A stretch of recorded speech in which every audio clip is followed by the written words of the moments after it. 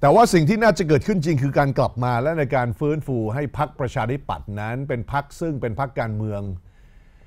ที่เป็นที่นิยมของประชาชน คราวนี้เส้นทางในการฟื้นฟูพรรคประชาธิปัตย์เนี่ยคือคุณอภิสิทธิ์เนี่ยนะฮะในสมัยซึ่งเขาลงเล่นการเมืองเนี่ยก็เป็นที่นิยม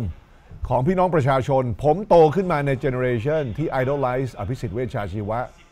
ในสมัยที่ผมเรียนหนังสือเนี่ยก็มักจะมีคนมาบอกว่าเฮ้ยปลื้ม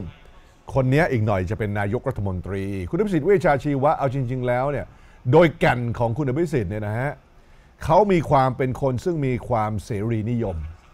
แต่ว่าผมเชื่อว่าคุณอภิสิทธิ์เขาอ่านเกมทางการเมืองในเวลานั้นว่าในที่สุดแล้วเนี่ยถ้าจะค่อยๆขึ้นมาเป็นใหญ่เนี่ยก็ต้องเป็นหัวหน้าพักประชาธิปัตย์เนี่ยแหละ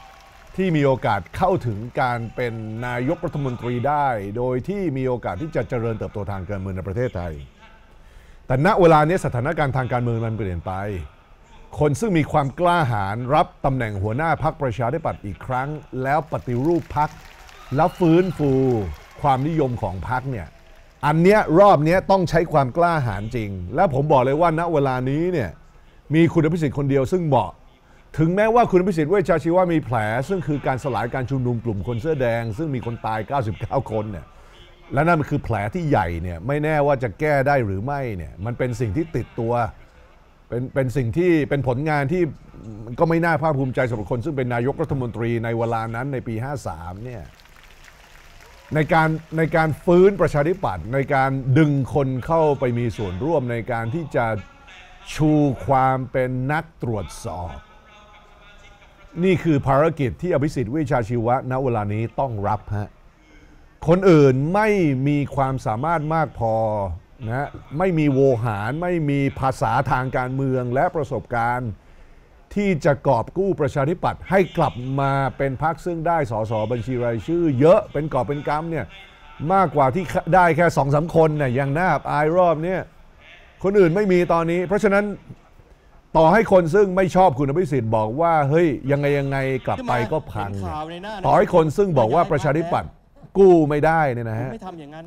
ผมคิดว่ารอบนี้คุณพิสิทธิ์อย่างน้อยเนี่ยผมก็ไม่คคุกับนยกถ้าเอาประชาธิปัตย์ไปเป็นฝ่ายค้านแต่แล้วใช้วิธีการตรวจสอบกรณีของนะฮะชนินอย่างที่สามารถทำให้ผมทำได้อย่างถนัดต้องโทรไปและทำได้หาท่านเป็น แล้วไม่เอาหลังไปพิงทหารผมก็ไม่ขอท่านทำในสิ่งที่ทำให้คนมองว่าทีมชนินเนี่ยต้องการก็ทำงานยั่วให้ทหารยึดยึดอำนาจและผมแล้วก็ไม่โหนถ้ามาอยู่คือไม่มีกับพรรคไม่มีมาตราประชาธิปัตย์เจ็ด ถ้าคอนเซปต์ประชาธิปัตย์เน้นการตรวจสอบแบบหล่อๆเฉยๆเนี่ยประชาธิปัตย์สามารถทำได้เมื่อมีรัฐบาลเพื่อไทยหรือก้าวไกล ซึ่งรัฐบาลเพื่อไทยหรือก้าวไกล และประชาธิปัตย์เล่นบทตรวจสอบโดยที่ไม่ต้องไปยุ่งกับรวมไทยสร้างชาติ แล้วปล่อยให้รวมไทยสร้างชาติพัง ประชาธิปัตย์ในรูปแบบนั้นสามารถกลับมาฟื้นยี่ห้อได้